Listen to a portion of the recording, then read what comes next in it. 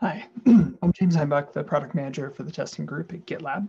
Uh, today, I'm to just walk through a new feature that will be part of the 13.12 release, and it's available already on gitlab.com today.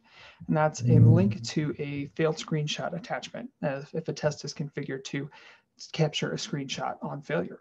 Um, so what we hear from developers, what we heard was that it's great that we could capture screenshots and include them as an artifact in GitLab, but they're buried in the artifacts of a build. So they're really hard to find and they're unattached. So you still have to hunt and peck and figure out how it relates to a test.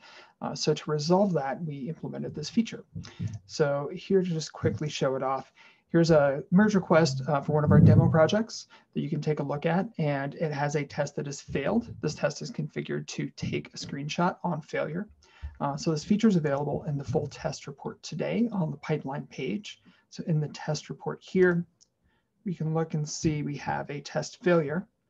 And if we look at our details, we see that we did capture as an artifact, a job artifact, a screenshot here.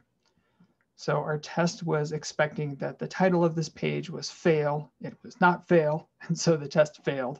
And so it grabbed the screenshot and attached it or grabbed it as an artifact and uploaded it. Now it's here in GitLab and much more easily accessible uh, to the user. So you can see what actually was displayed on the page as long as you understand the test and see really what is going on. So you can write a better bug description or if you're a developer, uh, more quickly fix that bug. So we hope that uh, you enjoy this new feature. We're looking forward to your feedback. And for our next iteration, we'll be bringing the same functionality to the modal in the test summary report on the merge request page. Thanks.